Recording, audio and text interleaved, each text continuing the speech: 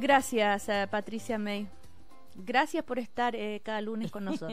gracias, Cecilia, por este espacio maravilloso.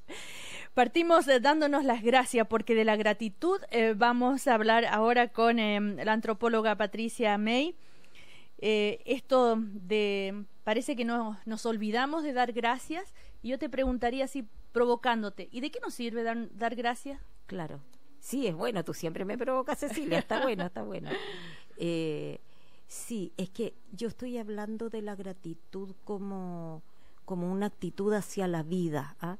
mm. que de repente ni siquiera es verbal, de repente ni siquiera es pronunciar la palabra gracias, sino que una actitud que tiene que ver con apreciar eh, aquello que la vida nos da cada día, ¿ah? en lo simple, en lo cotidiano y que en general damos por sentado, damos como que... O como que fuera obvio. Como que fuera obvio, como que fuera obvio que en mi casa, no sé, haya agua caliente, como que fuera obvio eh, que, que, tenga alimento todos los días. Y para muchos seres humanos eso no es obvio y no es dado. ¿ah? yo creo que como la sociedad y la vida se ha ido complejificando tanto, eh, no nos damos cuenta de, de, lo, de los muchos regalos que tenemos cada día. ¿Mm? Eh, a ver, pero yo creo también, Patricia, que puede ser un tema de eh, el ser humano en sí mismo, porque tal vez eh, en siglos pasados, donde tampoco la vida era tan compleja, ni había consumismo, ni en tal vez muchas personas tampoco sabían dar gracia y también daban por obvio lo que tenían. Puede ser algo de falta de, de reflexión. Mm, Yo creo que sí, fíjate que es falta de reflexión, que, es automatización, que el ser humano se acostumbra y ya no se sorprende, eso nos pasa a todos, ¿no? Y ya, y ya lo, eh, entonces, la virtud de la gratitud, que es una virtud que está en todas las tradiciones espirituales del mundo. ¿ah? Hay un monje cristiano, Cecilia, que es un monje meditador, que, que, que David Steindl-Rast, ¿ah? que él dice que con una sola virtud bastaría. ¿ah? Y esa virtud es la virtud de la gratitud, como, como una manera de poner atención a la vida de otra manera. ¿ah? Es básicamente eso, ¿ah? porque la tendencia, y como la vida ahora es compleja, compleja, compleja, en el fondo ya cada vez tenemos que agregar más cosas a nuestra vida para sentir algo, para sorprendernos, para para darnos cuenta, digamos, de, de las eh, miles de regalos. Entonces, lo que hacemos, yo creo que esto tiene directa relación con el sobreconsumo en la vida, con el, el sobreestímulo, con más y más y más, porque ya lo que tengo no me sirve, no me basta, no lo veo. ¿ah? No lo veo. Mm. Eso es, no lo veo, no lo aprecio tal vez. Em, pero ahora ¿qué, en, volviendo al tema de un comienzo, eh, ¿qué me aporta a mí espiritualmente, psicológicamente, anímicamente? Dar gracias. Por ejemplo, entro a la ducha en la mañana, la abro, sale el agua caliente, y yo digo gracias, porque podría ser que un día entre y que no sale el agua, que no está helada, o no sé, o enciendo el auto en la mañana y digo gracias porque encendió. Podría ser que un día no ande el auto, me estrese, no llego a trabajar. Bueno, cosas simples, pero eso uno lo aprende. Pero, uno pero y uno se siente bien, pero a veces uno se le olvida. Pero ¿qué, qué, qué le aporta al ser humano? Yo creo que le aporta felicidad, le aporta plenitud, le aporta ver aquello que no ve, te aporta mucha apertura del corazón, que en estos tiempos es difícil tener el corazón abierto, porque claro, como en, en, tanto deber, en tanta cosa, ¿ah? y, y en tanto llenarnos de la cabeza de cosas, es súper difícil tener el corazón abierto, el sentimiento abierto, apreciar la belleza, por ejemplo. Yo creo que la belleza como, como un sentimiento ¿ah? Que nos acompaña se abre solo cuando estamos en esa actitud. ¿ah? Porque cuando uno está en esa actitud, ve el centro de belleza en todo, incluso en aquello que llamamos feo. Puedes ver, porque nada es completamente bello ni completamente. la belleza es un sentimiento, un sentimiento del corazón. ¿ah? Así lo veo yo, una manera de ver la vida, una manera de vivir la vida.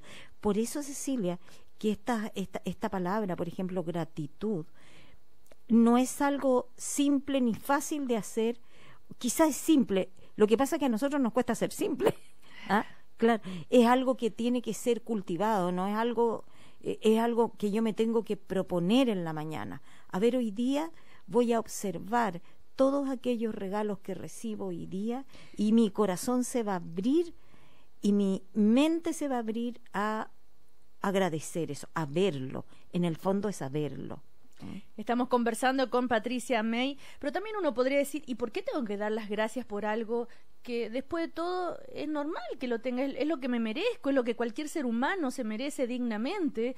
Eh, ¿A qué nivel hemos llegado que ya tener agua caliente tengo que dar gracias? Lo normal sería tener el agua caliente. O sea, yo lo llevaría a una cosa mucho más simple. Yo creo que hay que agradecer que el sol salga todos los días. Creo que hace bien, Cecilia, le hace bien al corazón eh, hay otro monje, en este caso no es cristiano, sino que es budista, que dice, con solo respirar bastaría. Es tan bonito eh, este monje Thich Nhat Hanh, eh, que es de la línea budista y que vivió la, vietnamita y, vivió la guerra de Vietnam. Él aprendió en duras experiencias a quedarse con lo más simple, en esa búsqueda de eh, plenitud y felicidad, porque la plenitud también es un sentimiento interno.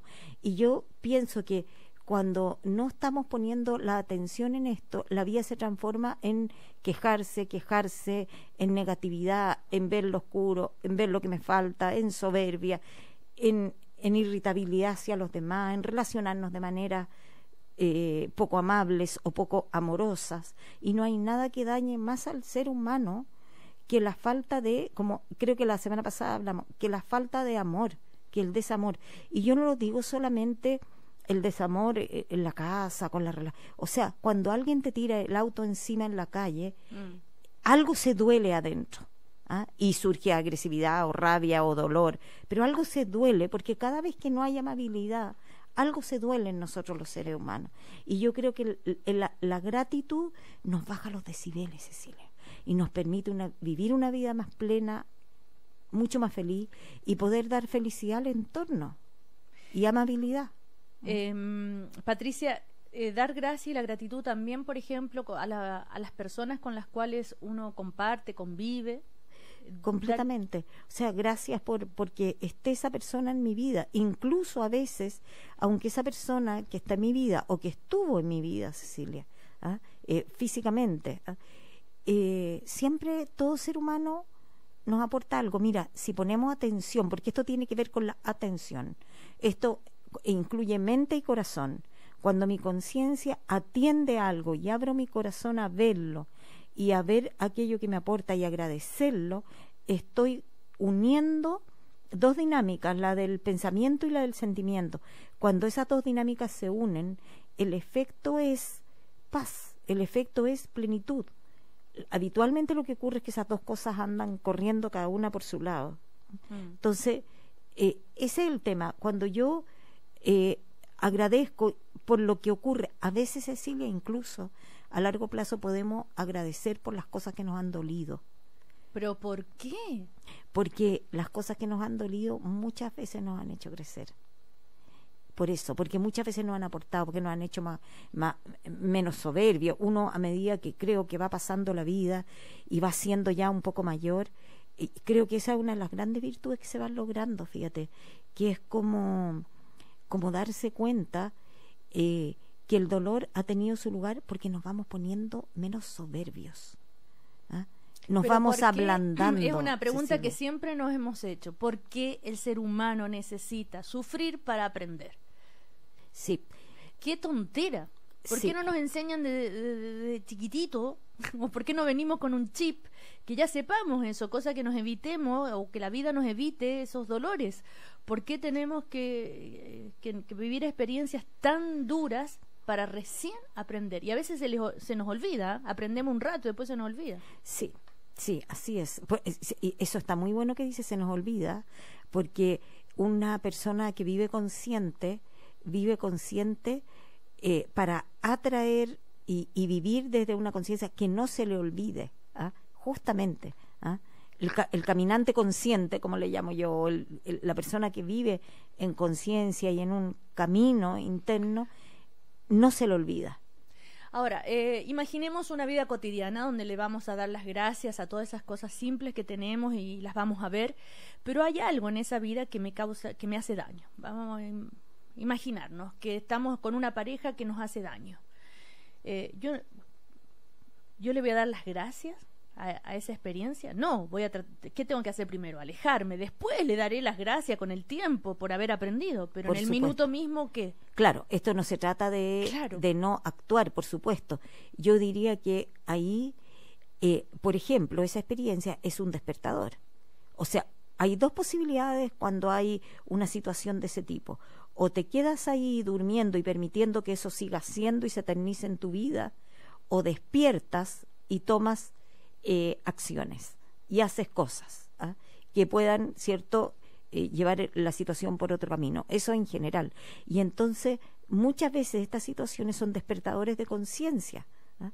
Para, ah, eh, son duras y difíciles, pero en el fondo, a la larga, lo que se agradece es que tuve que fortalecerme, tuvo que ver, me obligó a ser clara o a ser claro, a ser mm. fuerte, etcétera alguien que, eh, por ejemplo, eh, lleva años eh, este, en la marginalidad, sin oportunidades, en la pobreza, sin acceso a la salud, a la vivienda, en fin, puede estar diciendo, ¿de qué me habla esta señora? Por supuesto que puede estar diciendo. Claro, sí, por supuesto. Porque a, quién le voy a dar gracias yo. Ahora, curiosamente... Que me siento, que me siento absolutamente postergado, castigado por la vida. Fíjate que, curiosamente, Cecilia, estas ideas que han surgido de distintas tradiciones espirituales em, han surgido de gente que lo está pasando mal, porque quizá eh, al espíritu humano cuando lo está pasando muy mal, el único recurso de plenitud que le queda es poner la atención ahí. Como te digo, este monje budista, Thich Nhat Hanh, él, él forja estos conceptos estando en un campamento de refugiados en Vietnam, en la guerra de Vietnam, pasándolo muy mal. Entonces, eh, bueno, desde ahí es que forja el concepto de... Eh, él cuenta una historia muy interesante y es que él tenía que lavar todos los platos del campamento y eran 500, 700, 800 platos eh, todos los días y a todas horas. Y comenzó a aprender a encontrar en eso una armonía. Y a través de eso, ¿cierto? Él era budista, él hizo su práctica, ¿cierto?, de eh, plenitud y agradecimiento. Entonces, en el fondo, y, curiosamente, yo, por ejemplo, yo te quiero contar una experiencia. Yo en, en, mi vida he tenido que pasar muchas veces por operaciones grandes y estar en cama y limitada, muy limitada y con dolor y todo. En esas situaciones, lo que me ha salvado de la amargura, Cecilia, lo que me ha salvado de la de estar permanentemente en la queja, en la mala onda, en la autolamentación, en pobrecita de mí, ha sido precisamente esa actitud. Esa actitud, a ver, ¿qué podría en este día aquí en cama, con esta situación, con una no sé, operación en la cadera, en la pierna, donde sea, ¿cómo puedo aquí encontrar lo bello, lo bueno y, y agradecer? Y eso a mí, en lo personal, yo te diría que me ha salvado y pienso que y, y, los ejemplos puestos en muchas tradiciones de esto muestran que esta actitud además genera proactividad. Porque si yo estoy en la amargura, no me muevo. Si yo estoy en una buena onda, agradecimiento, amabilidad, genero buenos lazos, genero relaciones no tóxicas, genero posibilidades. Es decir, me abre camino, no me cierra camino. En cambio, yo creo que la amargura lo que hace es cerrar y cerrar camino en la vida. Bueno, eh, con solo respirar bastaría con esa este, frase de este monje budista. Eh, me quedaría yo. Eh, y gracias, Patricia. La gratitud entonces abre el corazón, dice Patricia May, algo que podríamos empezar a, practicar de este mismo instante. Y ¿Seamos conscientes de que estamos respirando? Sí, es como, él lo dice así, mira, inhala, mira, te lo voy a poner que es tan lindo, dice, Inhala, siente, mira ese momento que increíble, inhalar. Lo sientes, exhala y sonríe. Mira qué lindo. Gracias, Patricia. Hasta la próxima semana. Muchas gracias.